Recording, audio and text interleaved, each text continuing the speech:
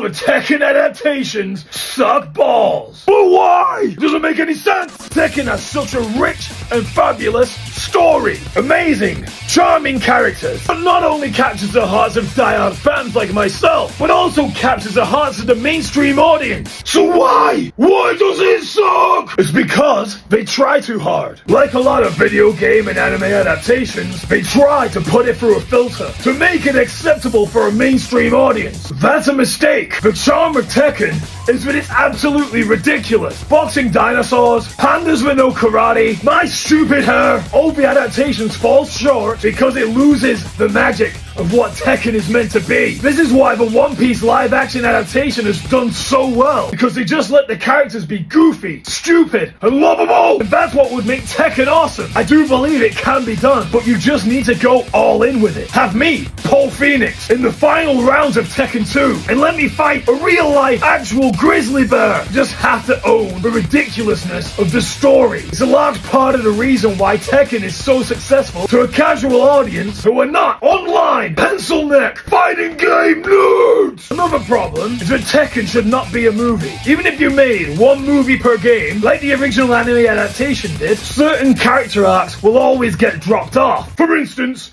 Mine! If you had a series focused on one game per season with a character episode each, all leading to the finals of the tournament, you would know these characters, you would know their motivations, you would bond with them. You'd have certain characters that you'd be rooting for in the finals. You'd feel for them, you'd feel for their successes, and you'd feel for their losses. And it would much more closely mirror the way the game story is told. I think that this format would serve Tekken very well. And Namco, if you need someone to do the hair in your costume department, our inbox is open! good